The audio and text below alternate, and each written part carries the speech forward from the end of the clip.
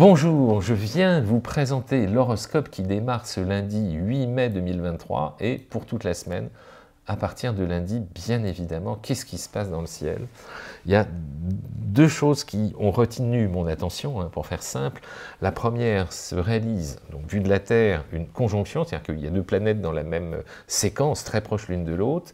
Cette conjonction, c'est un point de liaison vu de la Terre entre le Soleil et Uranus, allez voir, je vais vous en parler, c'est toujours assez tonifiant, donc il faut le canaliser. Et le la deuxième, deuxième élément qui, de mon point de vue, mérite qu'on s'y arrête, c'est un changement de planète de secteur. Ça, c'est toujours intéressant, changement de planète de secteur.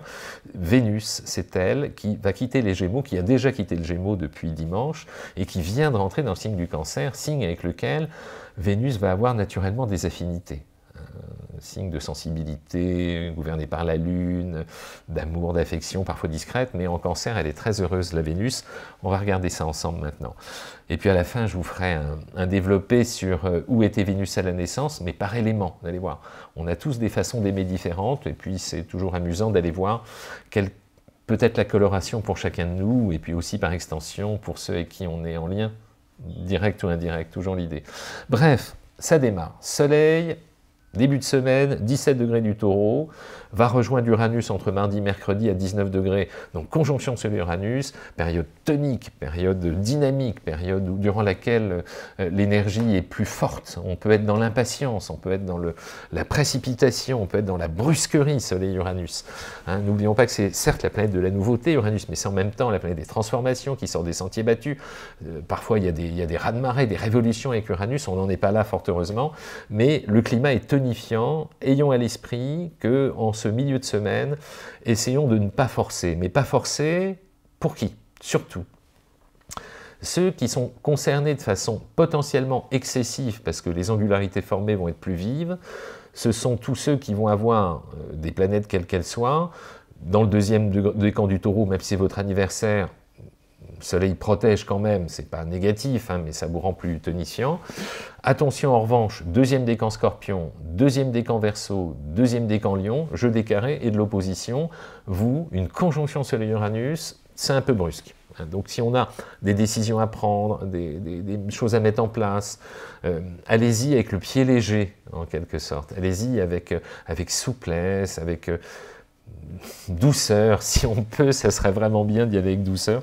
Celui Uranus, il faut le canaliser. Voilà, c'était l'idée. En revanche, ceux qui bénéficient complètement d'influence, parce que le jeu des aspects est stimulant, protecteur, bienveillant et, tonifiant de façon canalisée, ce sont donc mes taureaux globalement, mais surtout mes vierges, mes capricornes, mes poissons et mes cancers. Vous quatre, vous cinq, hein, parce que taureau, vous êtes quand même plutôt bien loti, vous êtes dans une dynamique qui est particulièrement porteuse. Pourquoi? Parce que les dossiers auxquels on est confronté peuvent bénéficier de cet apport de lucidité de vision d'ensemble et de changement d'angle potentiel s'il est nécessaire de fonctionner sur un principe d'adaptation face à des données nouvelles, face à une situation qui évolue. Euh, Uranus a ce talent, lorsqu'il est bien canalisé, de permettre de sortir des sentiers battus, mais pas trop quand même, quand il est bien canalisé, pour trouver des solutions auxquelles on n'avait pas pensé avant. Et on se dit, mais Eureka, mais c'est bien sûr, pourquoi n'y ai-je pas songé avant? Donc c'est très intéressant les influences d'Uranus, parce qu'elles vous, elles poussent, elles tonifient, elles augmentent le, le côté j'avance, j'avance, et puis j'essaie d'avancer vite, vite et bien avec cette inspiration euh, porteuse, tout simplement. Donc c'est très très intéressant, les aspects d'Uranus, lorsqu'ils sont heureux. Hein, sinon, vous l'avez vu, ils forcent, hein, ils poussent, ils précipitent, ils vont plus vite que la musique. Hein, vous cinq, vous avez bien compris que vous êtes dans les petits papiers d'Uranus, profitez-en. C'est dit. Autre euh, morceau, en quelque sorte, c'est Vénus. Vénus et, euh, démarre, la, démarre la semaine à 1 degré du cancer. Or, Vénus est passée dimanche, là, euh, quitter le Gémeaux où elle était depuis quelque temps, pour entrer dans le monde du cancer, ce monde d'hypersensibilité, ce monde de porosité, de perméabilité affective, cet univers de délicatesse, de finesse, d'affection, mais souvent une affection discrète. Vénus Cancer est une intuitive qui ressent, qui a besoin d'affection, d'être rassurée, dans le calme, dans la paix, dans l'harmonie, dans la douceur, sont les petits gestes qui font plaisir. Mais parfois, le verbe n'est pas associé, parce qu'on est plus dans une logique de, comment dire, de ressenti, de pudeur, voilà, c'est le mot que je cherchais, de pudeur dans l'expression de l'affect tout simplement. Et donc Vénus Cancer gagnerait à exprimer davantage son affection. En général, les Vénus Cancer que je rencontre, que j'ai croisés dans ma vie, ou lorsque j'en parle euh, en clientèle, sont des Vénus qui ont une certaine pudeur, qui euh, se méfient des grands élans, hein. les grands je t'aime, tout ça, dit, là, qu'est-ce qu'il me veut? Qu'est-ce qu'il me veut, celui-là? Il y a une sorte de, prudence, euh, réflexe, on va dire. Hein. C'est comme ça que je le perçois, on me le remonte en tout cas. Bref, mais Vénus en cancer est heureuse parce qu'elle a des affinités avec ce secteur. Vénus en signe d'eau gagne en délicatesse, en intuition, en finesse, en douceur, en gentillesse aussi, en besoin d'être utile à ce qu'on aime. Il y a un côté mère-poule protecteur avec Vénus en cancer, indiscutablement. Euh, parfois, Vénus, si elle est trop puissante, elle peut avoir un côté euh, envahissant pour bien faire. Donc, faut avoir en tête de, de permettre à ce qu'on aime de gagner en autonomie lorsque c'est nécessaire. C'est l'idée, voilà tout bête. En tout cas, excellent pour qui?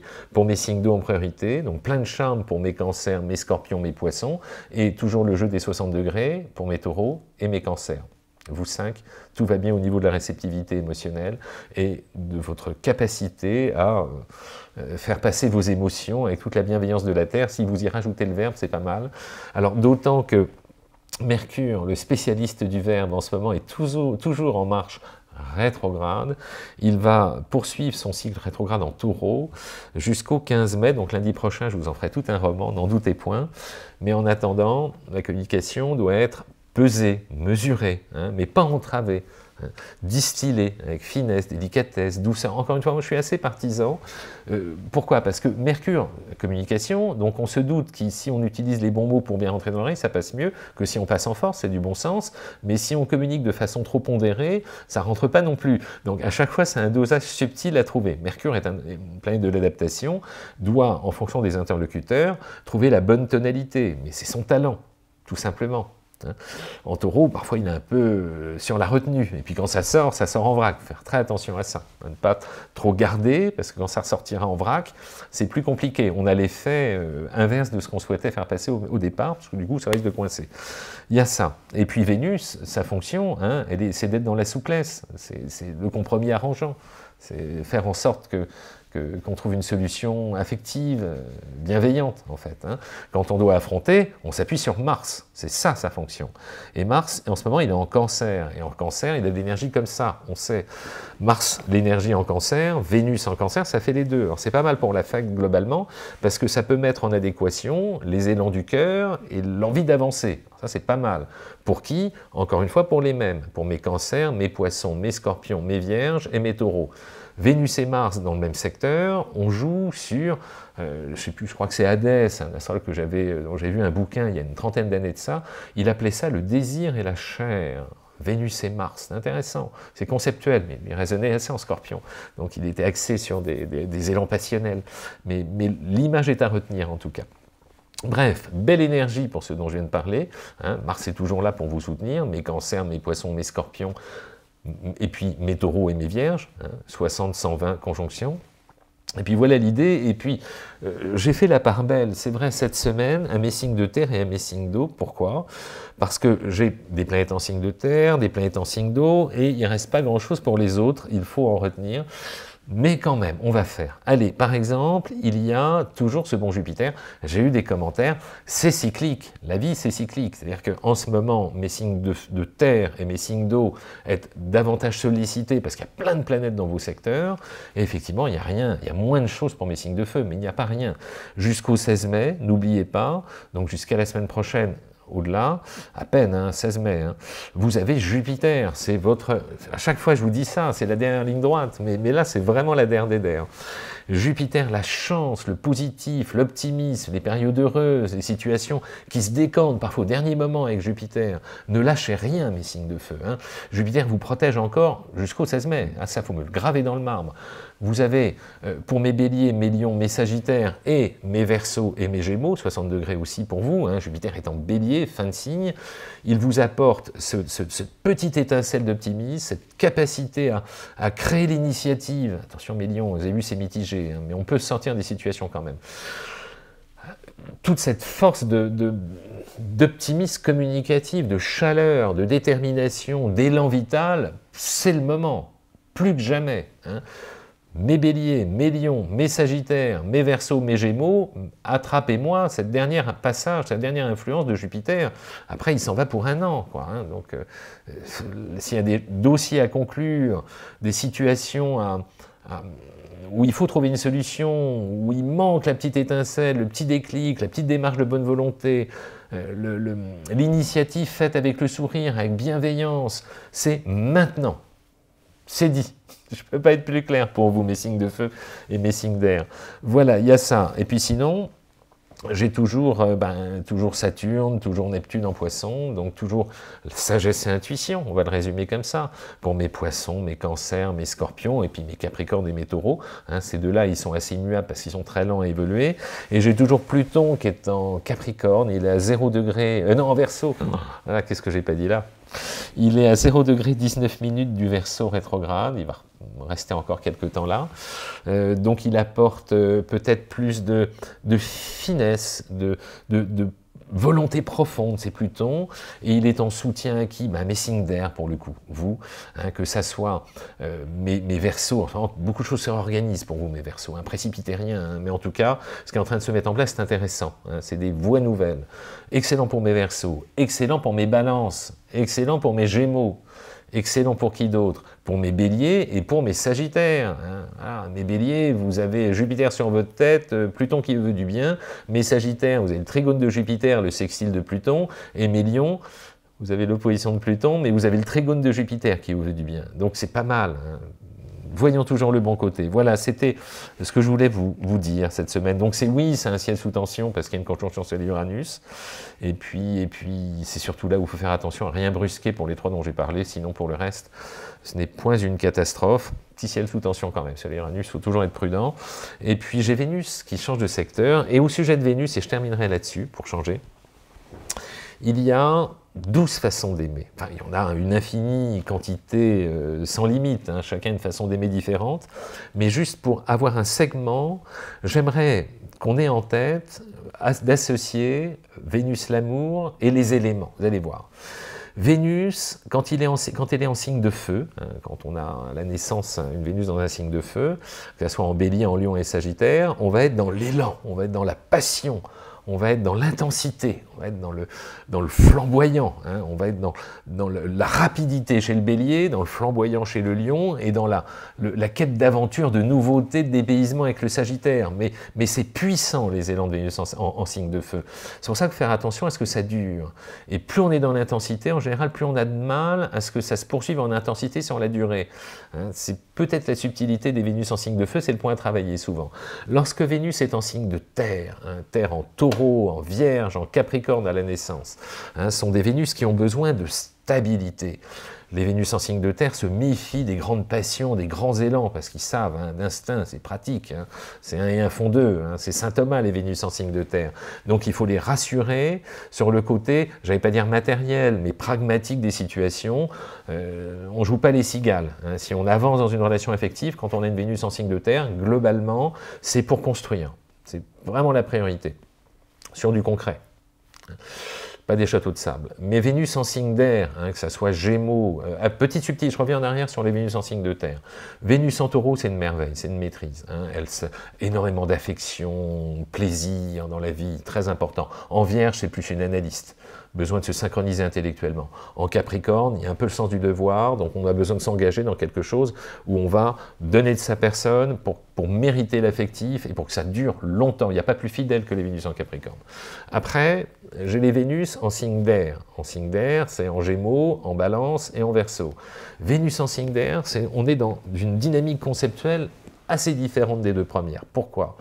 L'air, n'oublions jamais que c'est la liberté, besoin de mobilité, besoin d'être libre, d'être dans le relationnel, parfois euh, dans la communication, le besoin de, de, charmer par le verbe en gémeaux, hein, besoin parfois un peu de renouveler quand ils sont jeunes. En balance, c'est des profils qui ont tellement besoin d'amour, c'est une maîtrise de Vénus en balance. Donc il y a une telle entonnoir d'aspiration, à être aimé à tout prix. Mais quel désir, quelle délicatesse. Vénus Balance doit faire très attention à une chose. Ils sont divinement heureux dans la vie de couple, mais s'ils ne tombent pas sur un bon partenaire, leur vie est un enfer parce qu'ils passent leur vie à faire des compromis pour que ça marche. Donc ce n'est point facile. Vénus magnifique, mais il ne faut pas se planter. Après, j'ai Vénus en verso, l'amitié amoureuse, ce qui signe en général les relations qui peuvent espérer la plus belle pérennité. Parce que de tout ce que je vois, moi, depuis 30 ans, quand on mixte l'amour et l'amitié, on va, dans un premier temps, se synchroniser humainement, parce que les mécanismes passionnels sont assez fluctuants sur l'échelle d'une vie, c'est du bon sens, on n'est jamais en flux tendu, il y a toujours des variations, et si on passe des câbles de passion pour se retrouver sur le plan humain et amical, le truc c'est de l'or, c'est du béton. Hein. Si on respecte la liberté d'une Vénus verso, c'est le meilleur ami que vous pourrez avoir dans la vie. Voilà, et enfin, les, Vénus en signe d'eau. Les Vénus en signe d'eau, hein, Vénus en cancer, Vénus en scorpion, Vénus en poisson, sont des Vénus qui fonctionnent à l'intuition, au feeling, à l'instinct. C'est d'une porosité émotionnelle énorme, intense. Faire très attention parce que lorsqu'on leur parle, si on les brusque, ça les blesse profondément, beaucoup plus qu'on ne laisse paraître, imaginer c'est profond. Hein. Donc Vénus en cancer, c'est la câline qui adore son foyer, qui est une mère poule, qui est très affectueuse. Vénus en scorpion est une passionnée, une passionnée. Attention Vénus scorpion, parfois on court après des situations qui sont complexes, difficiles à réaliser, hein, parce qu'on est en quête, en quête d'intensité. Pas évident de fonctionner avec intensité et durée, c'est ce qu'on regardait tout à l'heure avec les Vénus en signe de feu. Là, il y a une ramification qui est intéressante à avoir en tête. Et enfin, la magnifique Vénus en poisson, la délicatesse, la douceur, le romantisme, la gentillesse, l'abnégation, c'est une merveille celle-là. Parfois elle rêve un petit peu, hein. mais bon, c'est pas bien grave. Elle est tellement euh, adorable, tout simplement. Voilà, c'est un petit tour des Vénus que je voulais vous faire, ça change. Hein. Merci pour vos likes, pour vos abonnements, pour vos partages, pour vos gentils commentaires. Et puis, je vais vous préparer plein d'autres trucs. La semaine prochaine, il y a plein de changements qui arrivent. Merci à vous.